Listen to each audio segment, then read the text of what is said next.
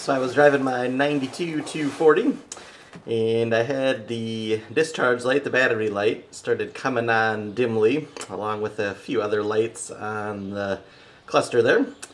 And it would go away if I rev the engine, the lights would go off, so that's to me a telltale sign of the alternator brushes going bad.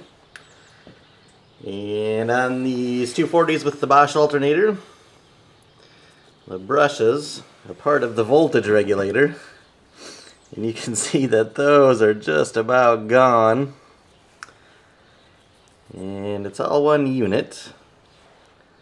It costs about 50 bucks.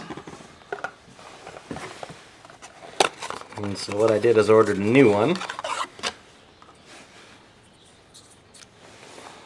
You can see those brushes are going to be a lot better than what's on there.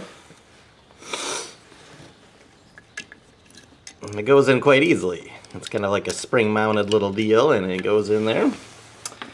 And on my 89 240 I had recently done this and I didn't need to take the alternator out of that one.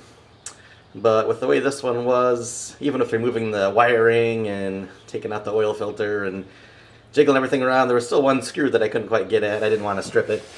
So I ended up taking the alternator out and figured that was a good time to do those lower mount bushings.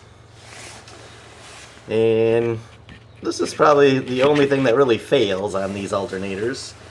So if you have one of these cars um, or a car that takes these alternators, um, like a shop would probably just put a rebuilt alternator in or even a new alternator, but um, you can check this yourself or you can tell them to uh, just replace the voltage regulator which has the alternator brushes on it and you should be back in business.